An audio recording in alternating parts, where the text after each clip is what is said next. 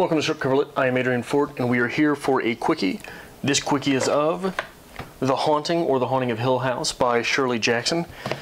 So, what is The Haunting of Hill House by Shirley Jackson? It was published in 1959, and it is Shirley. It was Jackson's fifth novel, and it is 246 pages. It is the story of Dr. Montague, who is sort of a ghost detective, as he rents out the Hill House in an attempt to document supernatural phenomena. He invites a few other people due to their previous exposure to paranormal uh, things. After that, things get weird, and one of the characters, Eleanor, gets weird back. Too weird. Spoiler alert, she dies. Three great quotes from The Haunting, and I just want to note right here that Shirley Jackson is capable of probably the most stunning and stark declarative sentences I have ever read, so this was difficult. I picked, I cheated and picked one more, but I think it's hard to pick quotes from. In my defense, I think it's hard to pick quotes from this book without using its opening paragraph, which reads as such. No live organism can continue for long to exist sanely under conditions of absolute reality. Even larks and katydids are supposed by some to dream. Hill House, not sane, stood by itself against the hills, holding darkness within. It had stood for eighty years and might stand for eighty more. Within walls continued upright, bricks met neatly, floors were firm, and doors were sensibly shut. Silence lay steadily against the wood and stone of Hill House, and whatever walked there walked alone. That is from the first page of the novel on page 29, we get the quote Hill House, she thought, you're as hard to get into as heaven.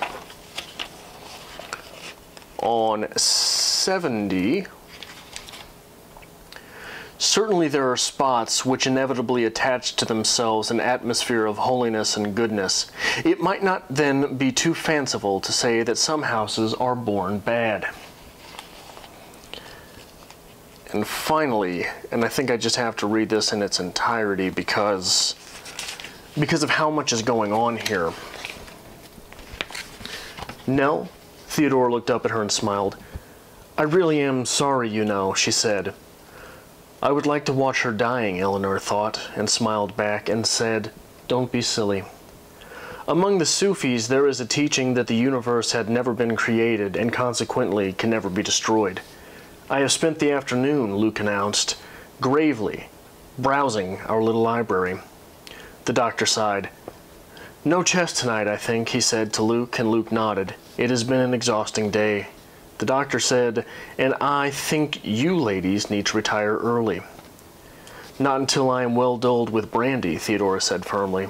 Fear, the doctor said, is the relinquishment of logic, the willing relinquishment of reasonable patterns. We yield to it or we fight it, but we cannot meet it halfway. I was wondering earlier, Eleanor said, feeling she had somehow she had somehow an apology to make to all of them. I thought I wasn't altogether calm, and yet I know now that I was terribly afraid. She frowned, puzzled, and they waited for her to go on. When I am afraid, I can see perfectly the sensible, beautiful, not afraid side of the world. I can see the chairs and the tables and the windows staying the same, not affected in the least.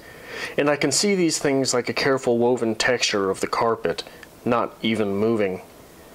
But when I am afraid, I no longer exist in relation to any of these things. I suppose because things are not afraid. I think we are only afraid of ourselves, the doctor said slowly. No, Luke said, of seeing ourselves clearly and without disguise. So sell it with a sentence. You've heard of this Stephen King fella, yes? The king of horror? Well, he says Shirley Jackson was better than he is, and he's right. The three best things. The big bad of this novel is of the ghost variety.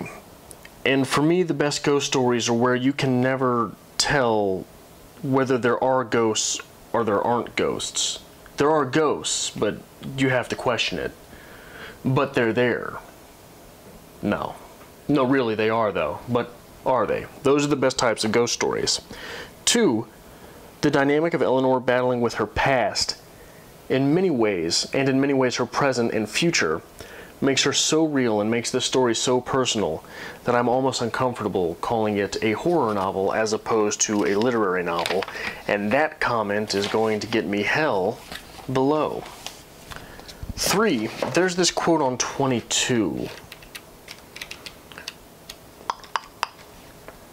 Don't do it, Eleanor told the little girl. Insist on your cup of stars. Once they have trapped you into being like everyone else, you will never see your cup of stars again. And in the bittersweetness of this statement is the literature that is skimmed off of the top of mere writing. Uh, and it allows us not to be sad at Eleanor's demise. The three worst things about this novel one, we only get a conclusion for one character, a real conclusion for one character. Two, I wanted more from Dr. Montague.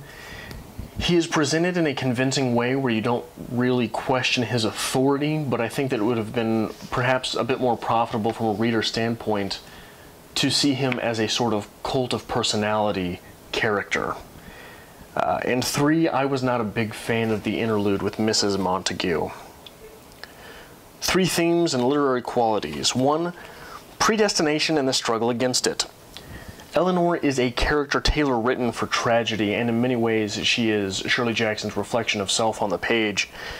Um, her struggle in this novel uh, are, are, truly a struggle of someone who has been conditioned a certain way and is violently trying to change her circumstance in the opposite direction. Two, religion.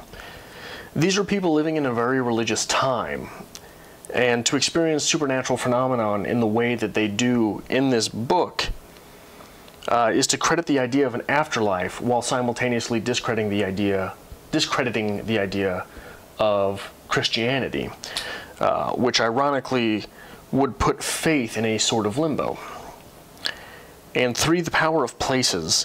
When you go back to that opening paragraph, the novel itself begins with the power of a place, and the whatever that walks there only happens later, suggesting that all of these things are derivative of the place.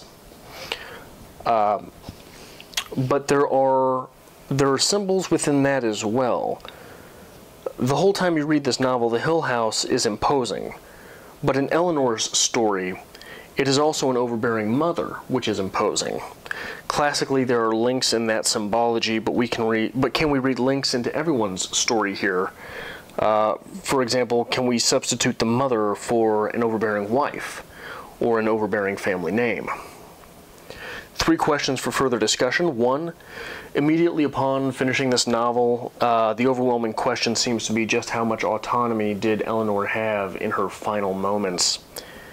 Two, what happens to good old Dr. Montague? Uh, I think that in modern cinema, it would be perhaps too tempting to take Montague and make him a Van Helsing type character and have this entire universe revolving around him, which would be regrettable. But I would like to know what, what happened with the good old doctor after these events.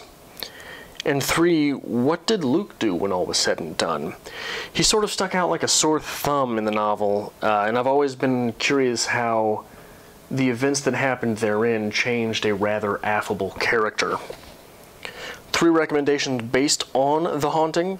One, The Lottery by Shirley Jackson, a short story as powerful as it is controversial. The Lottery uh, is sure to change a reader's relationship with literature Two, The Shining by Stephen King, uh, which should not come as a surprise. Another horror novel about the haunted place, King hails Jackson. Uh, read this novel to see what he steals from her. And three, anything by Joyce Carol Oates, who is another underrated female author. Um, both Oates and Jackson have a gift for declarative sentences and definitive characters. So, what would I rate The Haunting I would give this 90 wool suit and heavy sweaters out of 100. If you like this sort of thing, make sure you hit the subscribe button and give us a like below.